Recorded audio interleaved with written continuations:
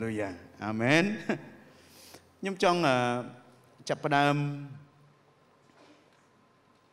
មេរៀនខ្សែពី3សប្តាហ៍និយាយអំពីក្រុមជំនុំជីវិតថ្មីជុកវ៉ាស្គាល់ក្រុមជំនុំជីវិតថ្មីជុកវ៉ាហើយលោកណាបាទតាមពិត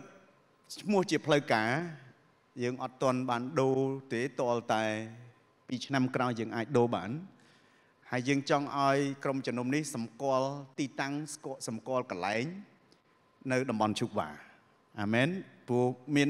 បរិយធំធំបរិយជុកវ៉ា1បរិយជុកវ៉ា2បរិយជុកវ៉ា3ហើយនេះគឺជាតំបន់ជុកវ៉ា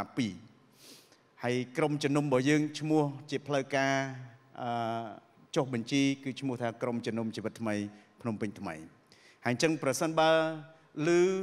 យើងប្រកាសហៅឈ្មោះថាក្រុមជំនុំជីវិតថ្មីភ្នំពេញថ្មីក៏ជាក្រុមជំនុំនេះអាមែនហើយក្រុមជំនុំជីវិតថ្មីជុកវ៉ាក៏ជាក្រុមជំនុំនេះដែរអាមែនហើយក្រុមជំនុំនេះគឺមានលក្ខណៈដូចតទៅភាគទី1ភាគទី1សូមបើកព្រះគម្ពីរទៅជាមួយគ្នា នៅក្នុងម៉ាថាយចំពុកទី16ខទី13រហូតដល់19 ការព្រះយេស៊ូវយាងមកដល់ស្រុកសេសារីសេសារ៉ាភីលីបព្រះអង្គមានព្រះបន្ទូលសួរពួកសិស្សថាមនុស្សទាំងឡាយថាបុត្រមនុស្សជានរណាគេទូលថាអ្នកខ្លះថាលោកលោកជាលោកយ៉ូហានបាប់ទីសអ្នកខ្លះថាលោកជាព្យាការីអេលីយ៉ាអ្នកខ្លះទៀតថាលោកជាព្យាការីយេរេមៀ ឬក៏ព្យាការីណាមួយរូបអញ្ចឹងព្រះអង្គសួរទៅដល់ពួកសិស្សមើលគេទាំងអស់គ្នាមនុស្សម្នាគេថាខ្ញុំជានរណាអញ្ចឹងគេក៏ឆ្លើយគេថាអ្នកខ្លះថាព្រះអង្គជាយូហានបាប់ទីសអ្នកខ្លះថាព្រះអង្គជាព្យាការីអេលីយ៉ាជាព្យាការីយេរេមៀឬក៏ជាព្យាការីណាមួយរូបខទី15ព្រះអង្គសួរទៅគេថាទៅគេទៀតថាចុះអ្នករាល់គ្នាវិញ តើអ្នករាល់គ្នាថាខ្ញុំនេះជានរណាជានរណាដែរមានម្នាក់ជាប់ឈ្មោះស៊ីម៉ូនលោកស៊ីម៉ូនពេត្រុសទូលព្រះអង្គថា លោកជាព្រះគ្រីស្ទ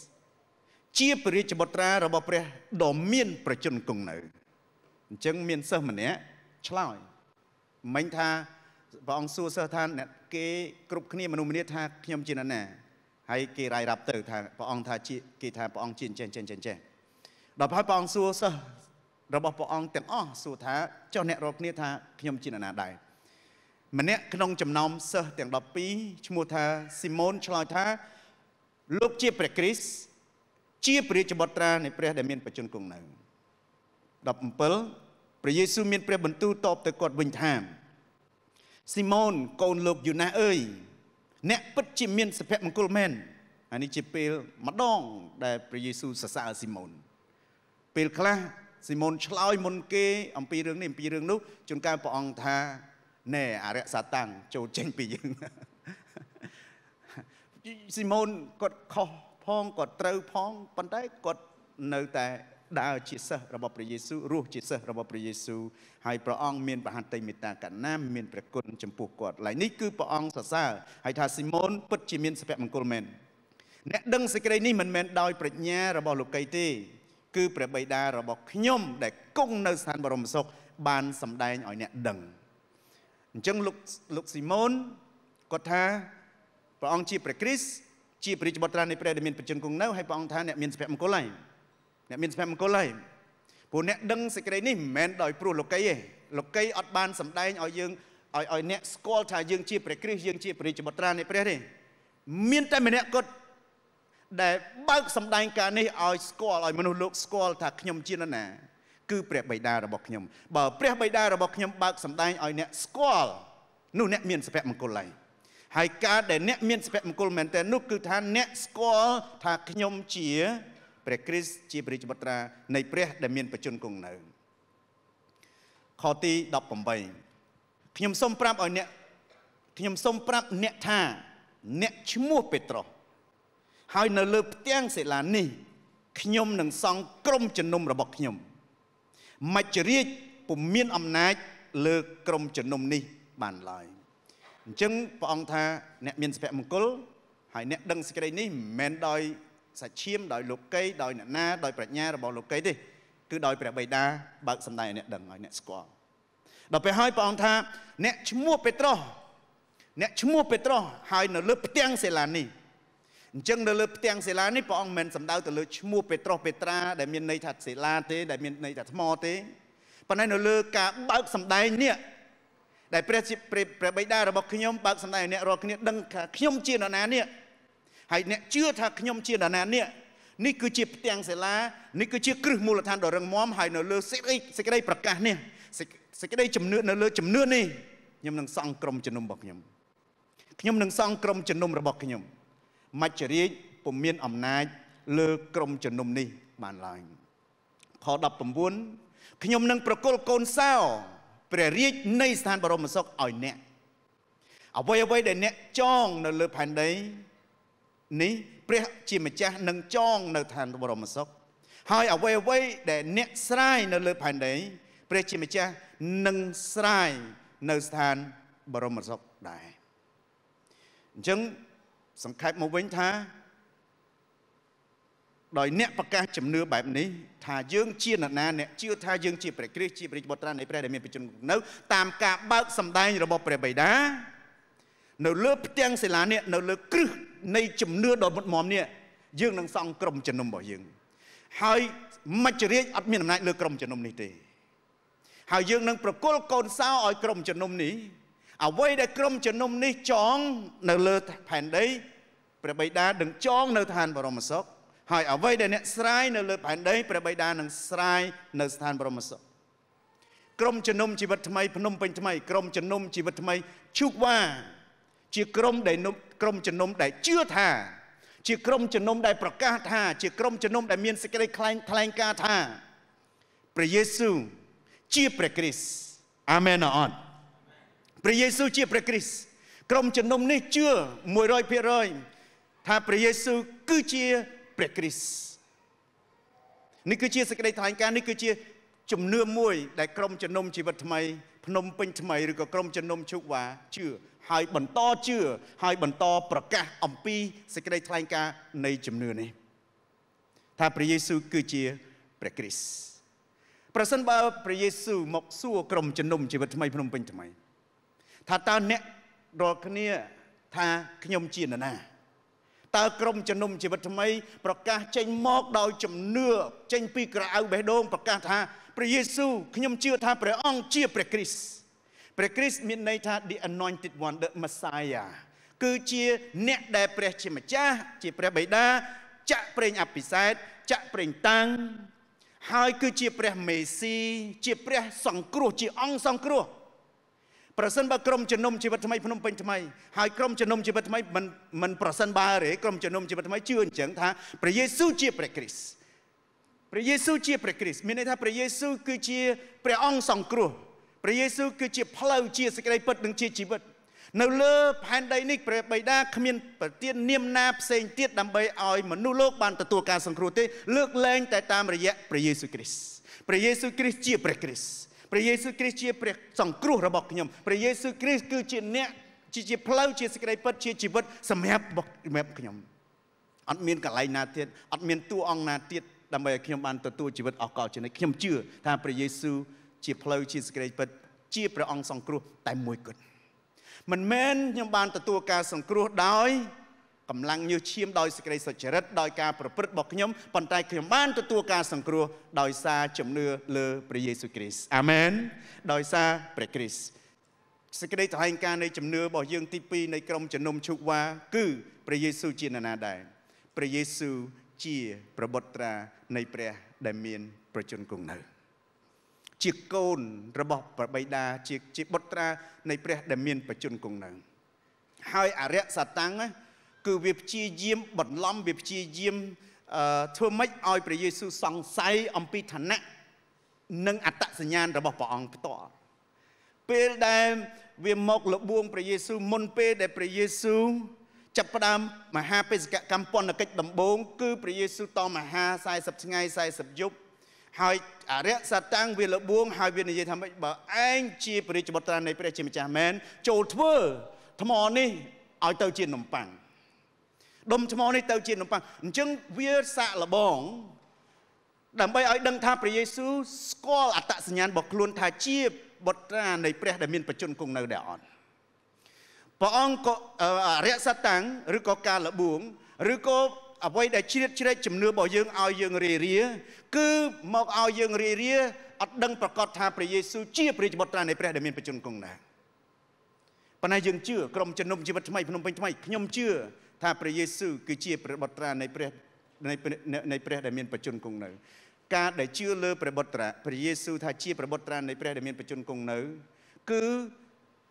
ឲ្យយើងមានអត្តសញ្ញាណមួយគឺថាយើងរួមជាមួយនឹងព្រះគ្រីស្ទហើយពេលណាដែលយើងបានរួមជាមួយនឹងព្រះគ្រីស្ទយើងក៏បានក្លាយជាកូនជាបុត្រធីតារបស់ព្រះជាម្ចាស់ដែរអាមែនព្រះយេស៊ូវជារៀងច្បងអាមែនព្រះយេស៊ូវជារៀងច្បងអ្នកណាជឿលើព្រះយេស៊ូវថាជាព្រះគ្រីស្ទ អ្នកនោះបានកើតជាថ្មីហើយព្រះបិតាបានធ្វើឲ្យអ្នកនោះក្លាយទៅជាកូន ហើយព្រះយេស៊ូវជារៀមច្បងហើយយើងគឺជាបុត្រាបុត្រីរបស់ព្រះជាម្ចាស់អញ្ចឹងទៅណាមកណាលោកអ្នកហើយនឹងខ្ញុំទៅណាមកណានេះគឺជាអត្តសញ្ញាណរបស់យើងខ្ញុំជាកូនរបស់ព្រះអង្គហើយបើការបន្លំឬក៏សេចក្តីកុហកណាមួយមកព្យាយាមព្យាយាមវាយប្រហារ អត្តសញ្ញាណនេះលោកអ្នកកុំជឿហើយប្រកាសជំនឿថាខ្ញុំជឿថាព្រះយេស៊ូវជាព្រះបុត្រនៃព្រះនិងជាព្រះគ្រីស្ទនិងជាព្រះបុត្រនៃព្រះមានបជនគង់នៅហើយខ្ញុំជាអ្នករួមជាមួយនឹងព្រះគ្រីស្ទហើយខ្ញុំជាកូនរបស់ព្រះអង្គដែរហើយព្រះអង្គបានធ្វើឲ្យខ្ញុំខ្លាចជាកូនហើយអញ្ចឹងកុំកុំរៀបរែកឬក៏កុំរង្គើនៅក្នុងអត្តសញ្ញាណរបស់យើងក្រុមជំនុំជីវិតថ្មីជុកវ៉ាឬក៏ភ្នំពេញថ្មី គឺជាក្រុមជំនុំដែលជឿលើសេចក្តីពិតពីរនេះហើយលើសេចក្តីពិតពីរនេះឬក៏សេចក្តីប្រកាសពីរនេះសេចក្តីជំនឿពីរនេះការជឿជាក់ថាព្រះយេស៊ូវជានរណាអញ្ចឹងព្រះយេស៊ូវក៏មានព្រះបន្ទូលមកកាន់ក្រុមជំនុំនេះថាព្រះជាម្ចាស់នឹងសង់ក្រុមជំនុំនេះអាមែនអត់ព្រះជាម្ចាស់នឹងសង់ក្រុមជំនុំនេះហើយនៅក្នុងក្រុមជំនុំនេះក្រុមជំនុំនេះ មានអ្នកដឹកនាំមានគ្រូកងវាជាច្រើនលោកគ្រូចន្ទ្រីលោកគ្រូភៀបលោកគ្រូផ្សេងផ្សេងទៀតគ្រូភក្ត្រាសហការជាមួយក្រុមជំនុំផ្សេងផ្សេងទៀតនៅក្នុងប្រទេសខ្មែរចំនួន700ក្រុមជំនុំហើយក្រុមជំនុំដែលមានមានន័យថាចម្រុះនិកាយផ្សេងផ្សេង ប៉ុន្តែឲ្យតែក្រុមជំនុំដែលមានសេចក្តីជំនឿដូចយើងមានការប្រកាសជំនឿដូចយើងថាព្រះយេស៊ូវជាព្រះគ្រីស្ទជឿថាព្រះយេស៊ូវជាព្រះគ្រីស្ទជាព្រះបុត្រនិងជាព្រះបុត្រនៃព្រះជាម្ចាស់ក្រុមជំនុំនោះជាបងប្អូនយើងហើយយើងអាចធ្វើការជាមួយយើងអាចប្រសាក់ដៃគ្នាដើម្បីពង្រីកព្រះរាជាណាចក្ររបស់ព្រះអង្គនៅក្នុងប្រទេសខ្មែរបានគឺក្រុមជំនុំដែលជឿអញ្ចឹងជាក្រុមជំនុំដែលព្រះយេស៊ូវសង់ ហើយមិនមែនហើយក្រុមជំនុំនេះមិនមែនតែមិនសំដៅទៅលើអាគារសំដៅទៅលើបុគ្គលសំដៅទៅលើយើងទាំងអស់គ្នាលោកអ្នកហើយនឹងខ្ញុំបើខ្ញុំជឿថាព្រះយេស៊ូវគឺជាព្រះគ្រីស្ទអស់ពីដួងចិត្តបើខ្ញុំជឿថាព្រះយេស៊ូវគឺជាព្រះបុត្រានៃព្រះដែលមានបច្ចុប្បន្នគង់នៅអស់ពីដួងចិត្តព្រះអង្គថាយើងនឹងសង់ក្រុមជំនុំនេះយើងនឹងសង់ក្រុមជំនុំនេះនេះគឺជាក្រុមជំនុំព្រះអង្គនឹងកសាងជីវិតនេះព្រះអង្គនឹងសង់ជីវិតនេះ ហើយជីវិតនេះលទ្ធផលព្រះអង្គនិយាយថាម៉េចនៅក្នុងអឺខបន្ទាប់ទៀតថាម៉េចមច្ចរាជពុំមានអំណាចលើក្រុមជំនុំនេះបានឡើយមច្ចរាជពុំមានអំណាចលើក្រុមជំនុំនេះបានឡើយក្រុមជំនុំដែលជឿថាព្រះយេស៊ូវជាព្រះគ្រីស្ទក្រុមជំនុំដែលប្រកាសថាក្រុមព្រះយេស៊ូវជាព្រះគ្រីស្ទអត់រង្គើ ក្រុមជំនុំដែលប្រកាសថាព្រះយេស៊ូវជាព្រះរាជបុត្រានៃព្រះដែលជឿថាព្រះយេស៊ូវជាព្រះរាជបុត្រានៃព្រះហើយកាន់ឲ្យជាប់នៅគោលជំនឿមួយនេះក្រុមជំនុំនេះព្រះអង្គថាព្រះអង្គនឹងសង់ក្រុមជំនុំនេះព្រះអង្គថាមច្ចរាជมันមានអំណាចលើក្រុមជំនុំនេះបានឡើយសេចក្តីស្លាប់អត់មានអំណាចលើក្រុមជំនុំនេះជំងឺភាពក្រីក្របណ្ដាសា ស្អីគេដែលជាសម្បត្តិរបស់មច្ចរាជមិនមានអំណាចលើក្រុមជំនុំនេះបានឡើយក្រុមជំនុំនេះនឹងរឹងមាំនៅលើថ្មដានៃជំនឿដែលប្រកាសថាព្រះយេស៊ូវជាព្រះគ្រីស្ទនិងជាព្រះរាជបុត្រានៃព្រះហើយព្រះអង្គថាយើងនឹងសង់ក្រុមជំនុំនេះគ្មានអ្វីដែលមកបំផ្លាញក្រុមជំនុំដែលជឿអញ្ចឹងទេអំណាចនៃឋានមច្ចរាជมันអាចបំផ្លាញក្រុមជំនុំនេះបានឡើយ ក្រុមជំនុំនេះមិនសង់លើបុគ្គលណាម្នាក់ក្រុមជំនុំនេះមិនសង់លើអត្តបុគ្គលិកលក្ខណៈនៃបុគ្គលណាម្នាក់ដែលជាគ្រូគង្វាលប៉ុន្តែក្រុមជំនុំនេះគឺសង់ លើជំនឿដែលប្រកាសថាព្រះយេស៊ូវជាព្រះគ្រីស្ទនិងជាព្រះរាជបុត្រានៃព្រះហើយដរាបណាក្រុមជំនុំនេះជឿអញ្ចឹងព្រះអង្គទ្រង់នឹងសង់ក្រុមជំនុំនេះហើយមច្ចរាជអត់មានអំណាចបំផ្លាញក្រុមជំនុំនេះយាយីក្រុមជំនុំនេះធ្វើឲ្យក្រុមជំនុំនេះអន់ថយឡើយធ្វើឲ្យក្រុមជំនុំនេះតោកយ៉ាប៉ុន្តែក្រុមជំនុំនេះនឹងរីកចម្រើនបន្តទៅមុខពីព្រោះគ្មានអ្វីដែលអាចបញ្ឈប់ជំនឿដែលជឿថាព្រះយេស៊ូវជាព្រះគ្រីស្ទនិងជាព្រះរាជបុត្រានៃព្រះ អាមែនអត់អាចទះដៃសរសើរនឹងកាងព្រះអង្គហើយហើយក្រុមជំនុំនេះជឿអញ្ចឹងលោកអ្នកជឿអញ្ចឹងព្រះអង្គក៏ប្រទានឲ្យយើងអញ្ចឹងដែរព្រះអង្គមានន័យថាយើងអញ្ចឹងមច្ចរាជអត់មានអំណាចលើលើសុភាអាមែនមច្ចរាជអត់មានអំណាចលើខេងมันមានអំណាចពីព្រោះអីខ្ញុំជឿព្រះព្រះយេស៊ូវ ជាព្រះអង្គសង្គ្រោះខ្ញុំព្រះអង្គសង្គ្រោះខ្ញុំពីឋានមច្ចរិយពីមច្ចរិយព្រះអង្គសង្គ្រោះខ្ញុំពីជំងឺព្រះអង្គសង្គ្រោះខ្ញុំពីការបាក់ទឹកចិត្តព្រះអង្គសង្គ្រោះខ្ញុំពីការអស់សង្ឃឹមព្រះអង្គសង្គ្រោះខ្ញុំពីសេចក្តីកុហករបស់រក្សាតាំងព្រោះព្រះអង្គជាព្រះអង្គសង្គ្រោះខ្ញុំជឿថាព្រះយេស៊ូវជាព្រះគ្រីស្ទព្រះអង្គសង្គ្រោះខ្ញុំមិនសង្គ្រោះឲ្យខ្ញុំមានជីវិតតែអស់កលជានិច្ចតែប៉ុណ្ណឹងប៉ុន្តែព្រះអង្គសង្គ្រោះខ្ញុំឲ្យរួចពីយុទ្ធសាស្ត្រកលល្បិចអំណាចរបស់មច្ចរិយអាមែនអត់ ហើយពេលដែលលោកអ្នកឈឺប្រាប់ថានេះជាក្រុមជំនុំរបស់ព្រះយេស៊ូវហើយក្រុមជំនុំរបស់ព្រះយេស៊ូវនេះគឺជឿថាព្រះយេស៊ូវជាព្រះគ្រីស្ទនិងជាព្រះរាជបុត្រានៃព្រះមច្ចរាជជំងឺការខ្វះខាតអត់មានអំណាចបំផ្លាញក្រុមជំនុំនេះបានឡើយអូខ្ញុំខ្ញុំជឿអញ្ចឹងខ្ញុំជឿអញ្ចឹងពីព្រោះនេះជាព្រះបន្ទូលរបស់ព្រះអង្គហើយថែមទៀតព្រះអង្គថាម៉េចព្រះអង្គប្រគល់កូនសោព្រះរាជនៃស្ថានបរមសុខទីមួយព្រះអង្គនឹងសង់ ទី2ព្រះអង្គថាអ្នកមានអំណាចមច្ចរិយអត់មានអំណាចលើអ្នកទី3គឺយើងបកុលកូនសោទៅឲ្យអ្នកព្រះអង្គថាយើងបកុលកូនសោឲ្យអ្នកហើយកូនសោនេះដើម្បីអី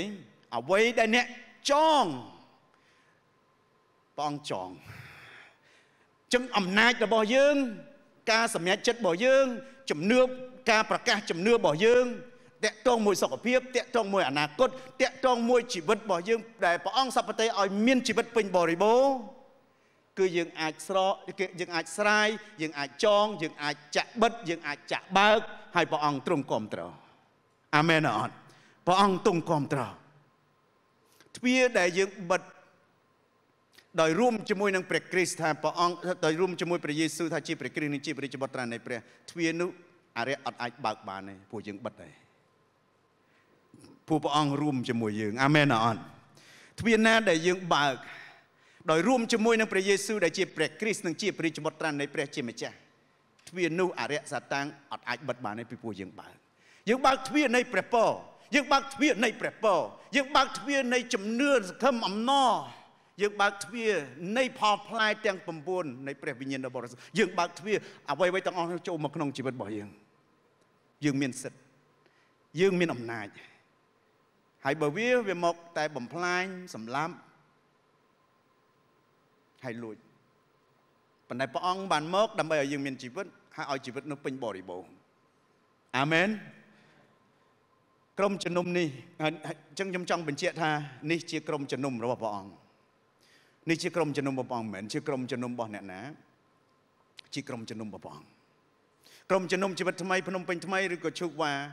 ជាក្រុមជំនុំរបស់ព្រះយេស៊ូវគ្រីស្ទ ហើយជាក្រុមជំនុំដែលព្រះយេស៊ូវគ្រីស្ទសង់ដោយព្រោះក្រុមជំនុំនេះជឿថាព្រះយេស៊ូវជាព្រះគ្រីស្ទនិងជាព្រះជាបុត្រានៃព្រះដែលមានបច្ចុប្បន្នគង់នៅក្រុមជំនុំនេះព្រះអង្គជ្រើសរើសសង់ហើយព្រះអង្គបន្តសង់ព្រះអង្គសង់ក្រុមជំនុំនេះដោយមានគោលព្រះអង្គមានគោលបំណងសម្រាប់ក្រុមជំនុំដែលព្រះអង្គសង់ហើយយើងបានសិក្សាហើយខ្ញុំគាត់ទៅឲ្យលឿនស្ដីអំពីគោលបំណងដែលព្រះអង្គមានសម្រាប់ក្រុមជំនុំនេះ ក្រុមជំនុំនេះកើតមានដើម្បីអីគេ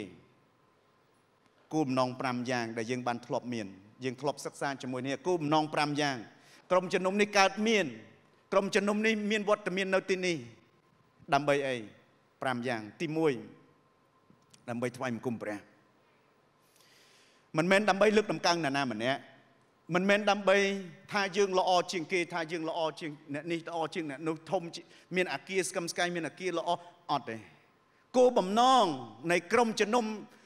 ជីវិតថ្មីភ្នំពេញថ្មីដែលព្រះយេស៊ូវកំពុងសង់ដែលព្រះយេស៊ូវផ្ដល់អំណាចឲ្យ ដែលព្រះយេស៊ូវប្រទានកូនសោឲ្យ គឺជាក្រុមជំនុំដែលមានកើតមានមកដើម្បីថ្វាយបង្គំព្រះយេស៊ូវគ្រីស្ទយើងនៅទីនេះយើងមកគោលបំណងចម្បងធំជាងគេ គឺថ្វាយបង្គំព្រះយេស៊ូវគ្រីស្ទថ្វាយបង្គំព្រះយេស៊ូវមានន័យថាម៉េចថ្វាយបង្គំព្រះអង្គមានន័យថាម៉េចស្រឡាញ់ព្រះអង្គជាព្រះរបស់អ្នកឲ្យអស់ពីចិត្តគំនិតឲ្យអស់ពីស្មារតីហើយនឹងអស់ពីប្រាជ្ញាស្រឡាញ់ព្រះអង្គគឺជាការថ្វាយបង្គំព្រះអង្គពេលដែលយើងមកច្រៀង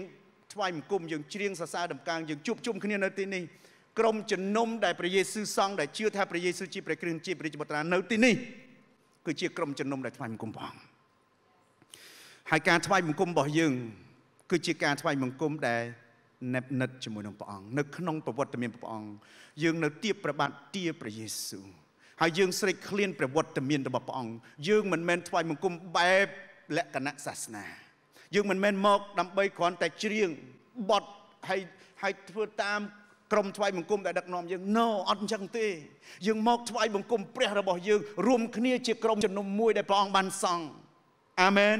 យើងយើងយើង ម្នាក់ម្នាក់យើងស្និទ្ធជាមួយនឹងព្រះអង្គម្នាក់ម្នាក់ស្វែងរកព្រះអង្គម្នាក់ម្នាក់ហាក់បីដូចជាខ្លួនឯងចូលក្នុងបន្ទប់ដែលបិទចិត្តមួយហើយមានតែព្រះអង្គហើយនឹងខ្លួនឯងហើយថ្វាយបង្គំហើយទៀបប្របាទទាព្រះយេស៊ូវដូចជានាងមេរីបើការថ្វាយបង្គំនៅទីនេះគ្មានភាពស្និទ្ធស្នាលជាមួយនឹងព្រះអង្គយើងកំពុងតែប៉ះពាល់គោលបំណងទី1ហើយ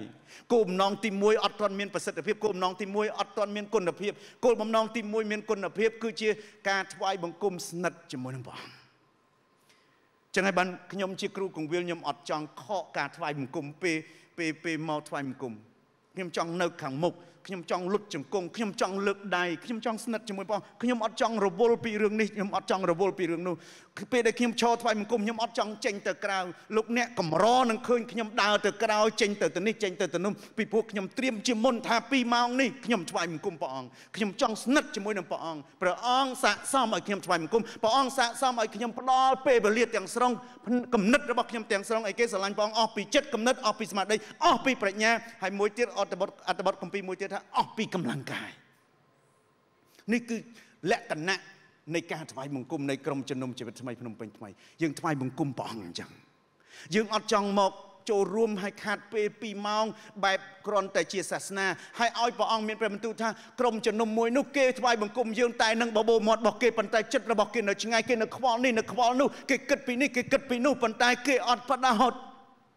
គេអត់បើកដួងចិត្តគេអត់បើកទ្វារយើងឈរនៅមាត់ទ្វារទាំងគោះហើយបើគេលឺសំឡេងយើងបើកទ្វារឲ្យយើងចូលក្នុងផ្ទះរបស់អ្នកនោះហើយយើងយើងរួមបកកប្រស័យតាក់ទងយើងស្និទ្ធស្នាលជាមួយអ្នកនោះ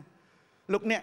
មានការកើតឡើងមានការអស្ចារ្យកើតឡើងពេលយើងស្វ័យបង្គំព្រះអង្គស្និទ្ធស្នាលជាមួយនឹងព្រះអង្គហើយនេះគឺជាកន្លែងបង្កបរិយាកាសឲ្យយើងស្វ័យបង្គំ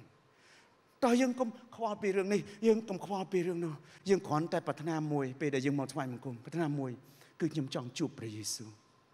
ខ្ញុំចង់ជួបព្រះយេស៊ូវខ្ញុំចង់អង្គុយទៀបប្របាទទៀបព្រះយេស៊ូវខ្ញុំចង់បិទទ្វារឲ្យចិត្តខ្ញុំអត់ចង់ឲ្យការខ្វល់ខ្វាយចូលមកខ្ញុំអត់ចង់ឲ្យបញ្ហានៅការងារចូលមកខ្ញុំអត់ចង់ឲ្យរឿងរ៉ាវនេះរឿងរ៉ាវនោះចូលមកខ្ញុំបិទទ្វារឲ្យចិត្តឥឡូវក្នុងបន្ទប់នេះមានតែខ្ញុំហើយនឹងព្រះអង្គ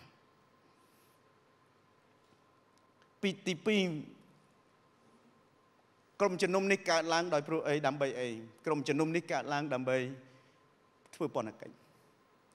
ពាក្យថាធ្វើពន្ធកិច្ច ministry មានន័យថា serve គឺដើម្បីបម្រើ គឺដើម្បីបម្រើ គ្នាទៅវិញទៅមកក្រឹតវិន័យ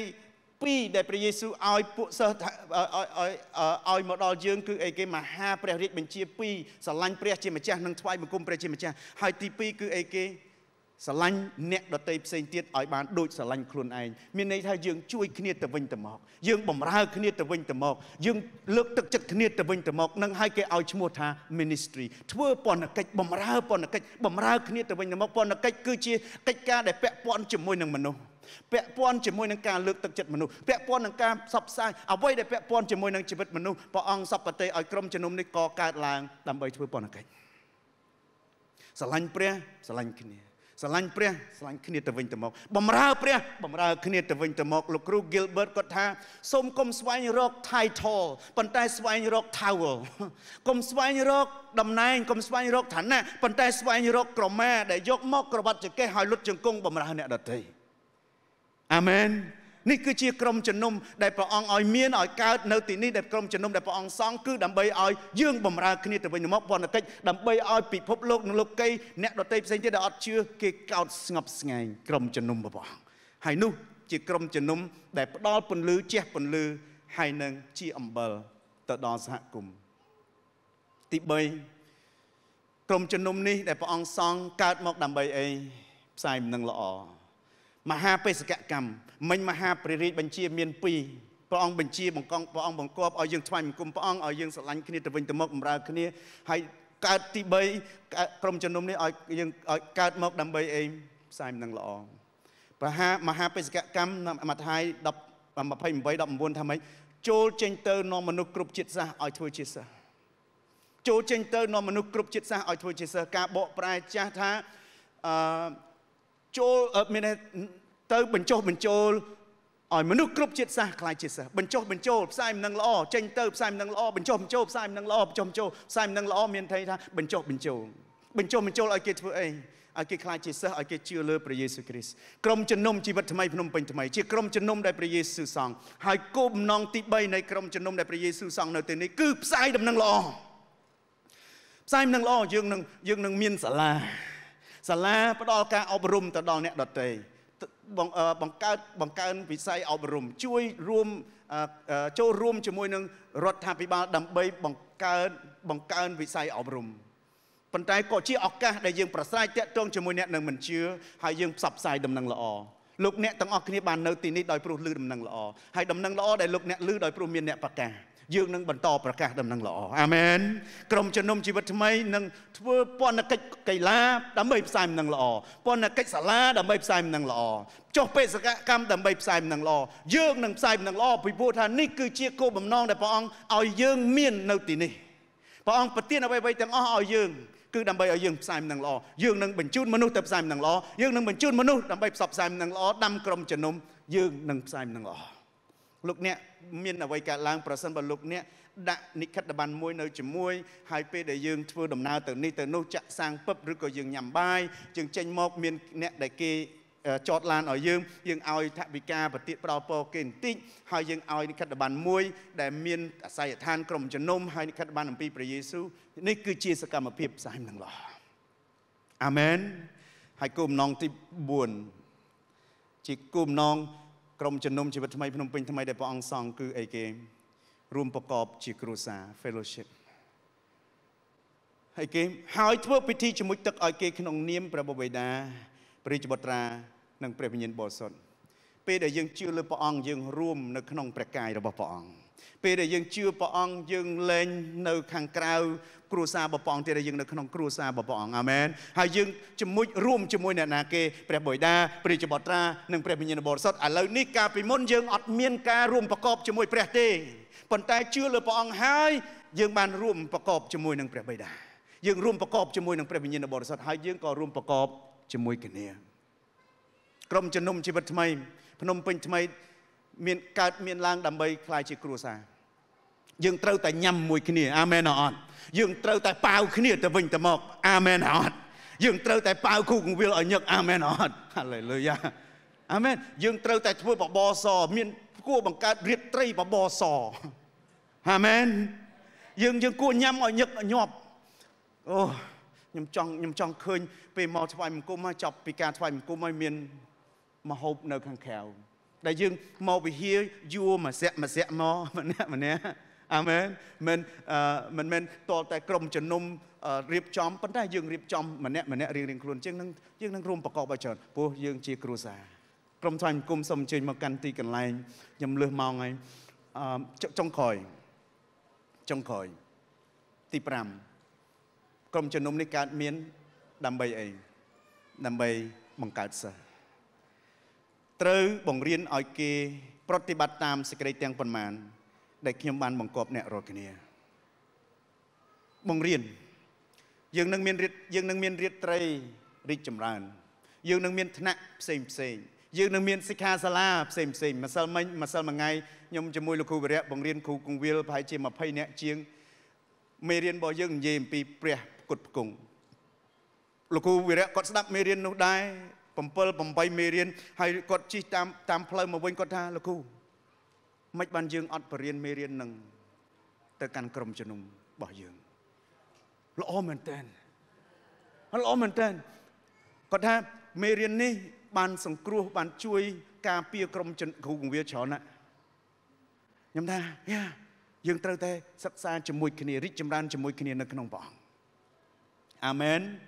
គោលបំណងទាំង5 ជាកត្តា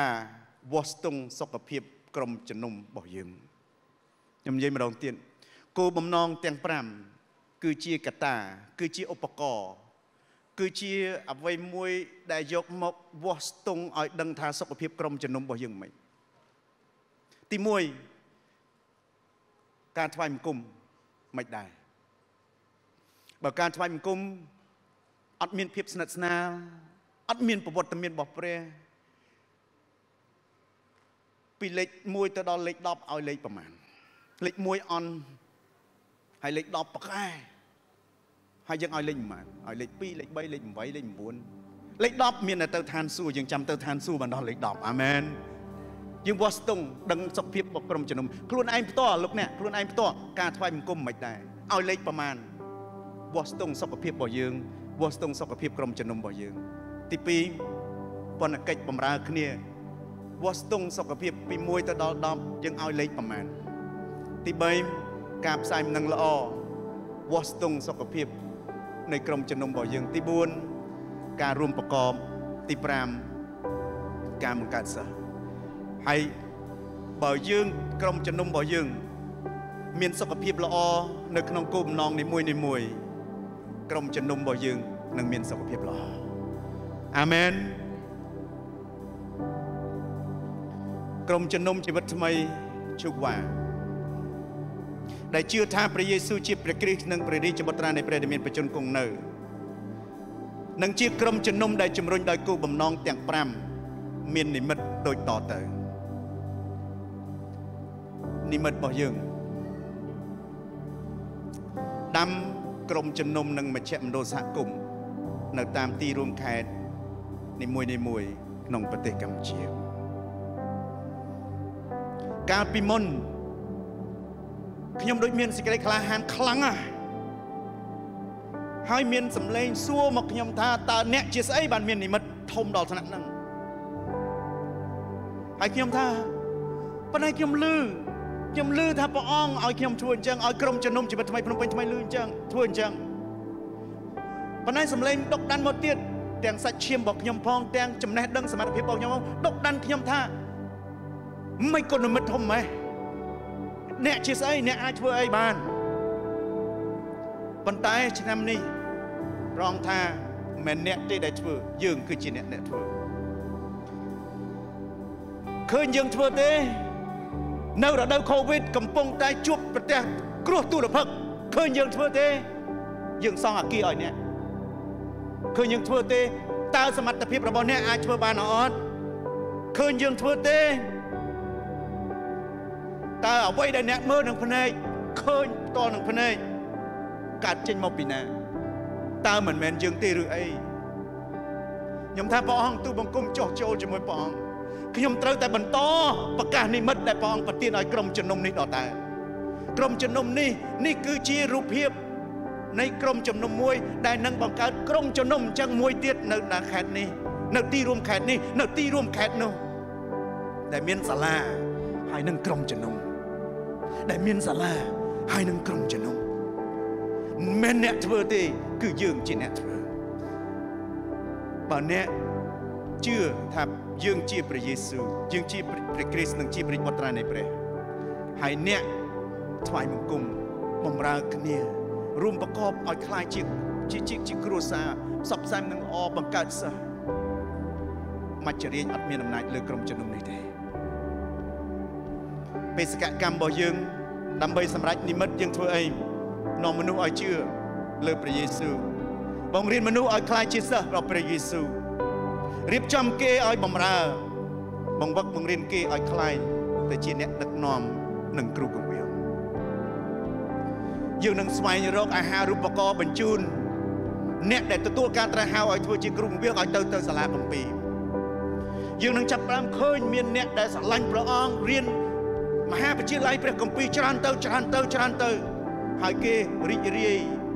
ត្រៀមខ្លួនចេញទៅបង្កើតក្រុមជំនុំនៅខេត្តនេះខេត្តនោះលោកអ្នកព្រះអង្គមានព្រះបន្ទូលមកកាន់លោកអ្នកមិន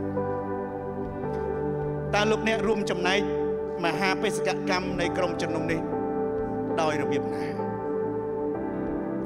យើងចង់ធ្វើពិធីកាច់នំប៉័ងឥឡូវខ្ញុំសូមហៅអ្នកដឹកនាំ ដែលមកខាងលើមិញទាំងអស់ទាំងគ្រូចន្ទ្រីសំភ័រហើយហើយសូមទៅយកទឹកទំពាំងបាយជូរនំប៉័ងហើយមកមកឈរនៅទីនេះអ្នកដឹកនាំកាន់ទឹកទំពាំងបាយជូរហើយនឹងនំប៉័ងបើទោះបីជាថាសអត់គ្រប់គ្នាក៏សូមអ្នកដឹកនាំដែលមកខាងលើមិញមិញក៏មកឈរនៅខាងមុខដែរយើងនឹងធ្វើពិធីលៀងព្រះអង្គម្ចាស់